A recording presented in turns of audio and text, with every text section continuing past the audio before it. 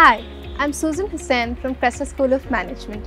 I would like to speak up about the activity which was taken place in the year 2021.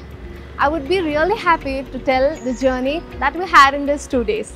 We had a trip for Jakkur where we got to learn and experience many things.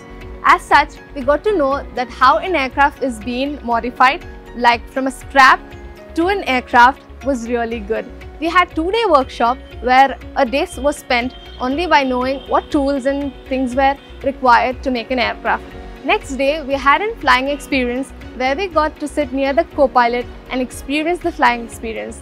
I would like to thank Cresta College for giving us opportunity to be a part of aviation. Thank you.